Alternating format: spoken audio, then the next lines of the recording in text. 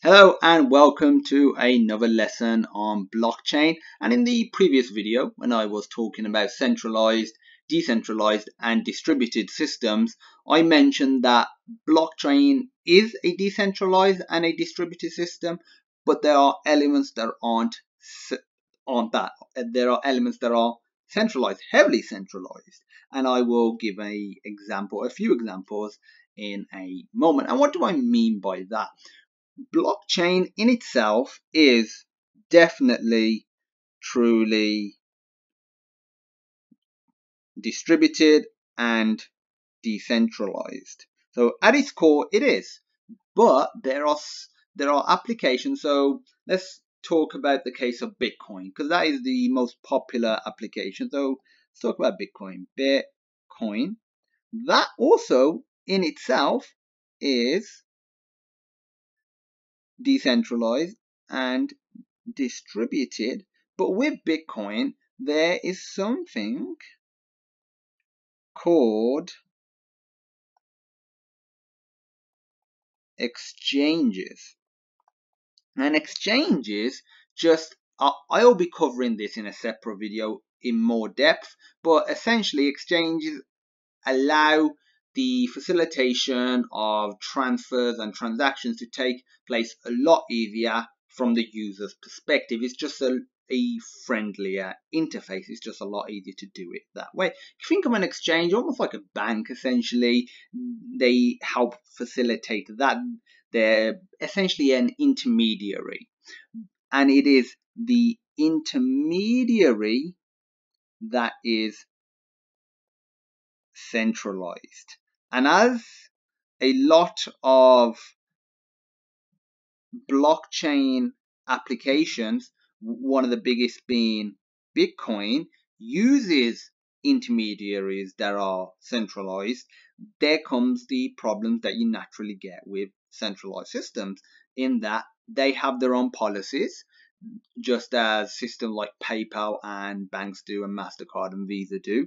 If something goes wrong with them, there's a good chance that they could essentially lose your. So I'm going to talk in the case of currency, so Bitcoin, for example, they could lose your currency, and that has happened. And there's a great example, and that is Mount Gox. In 2014, they were suspended. So in 2014, they were suspended because they lost no, no, not 700. It was 850,000 bitcoins. At the time, that was worth roughly, I think, 400 or so million dollars. So at the time, they lost 400 million dollars worth of Bitcoin. If you look at today's market value, which is just shy of $5,000, that same 850,000 Bitcoins would be worth over $4 billion. So over $4 billion worth of Bitcoins were lost from Mt. Gox, which is an exchange. Mt. Gox at its height was handling over 70% of the bitcoins on the market. It definitely had a monopoly and it lost all of it. There were a mixture of reasons why the coins got lost.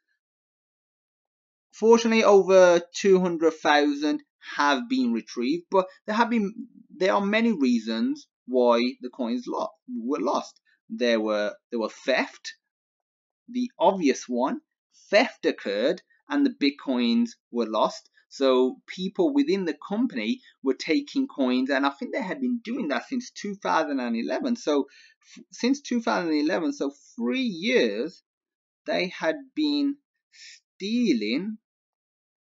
And I'm going to say money just to bring it home to you what exactly they were doing. And, and there were a bunch of other reasons. I, I think there was hacks involved, and there were so many other factors that occurred to them losing it. And I think the most important thing to take away is they were centralized. And we had this amazing system called blockchain, which facilitated transactions. They could be transactions of money, of wills, of educational achievements. And on top of that, Bitcoin was built and various other platforms as well, Bitcoin being the biggest one. And again, that was an amazing platform that was decentralized, distributed, and it was essentially a money based platform in what it has been used for. But on top of that, to aid the ease of use, we had exchanges. I'm not going to say Mount Gox here because just exchanges in general. And these exchanges aren't centralized. I'm positive in the future we'll get some form of decentralized and distributed exchanges. It is early days in blockchain and Bitcoin as well, and many other applications of blockchain. But there were there are several exchanges. There obviously there was Mount Gox. There's blockchain.info and that allows Ethereum transactions on top of Bitcoin as well. There's Coinbase, which at the moment is one of the most widely spread ones. There's CEX.io, which is fantastic.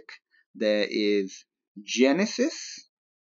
Genesis is mainly for bigger transactions, like a lot of these will own at for like a small beginning account only allow transactions of like a few hundred dollars. Genesis, I believe, uh, only allows transactions above 25 or so thousand dollars. So that's more for corporations or overall just rich people that are looking to transfer large amounts. But all of these are centralized. Coinbase, which I said is one of the most popular ones, has if you look at the terms and conditions and their privacy policy, the, there are similarities to PayPal, and that's definitely definitely not centralized. I mean, that's definitely not decentralized and distributed. That's centralized. So that is what I meant by blockchain having elements of decentralized and distributed. I mean, having yeah having centralized features within blockchain.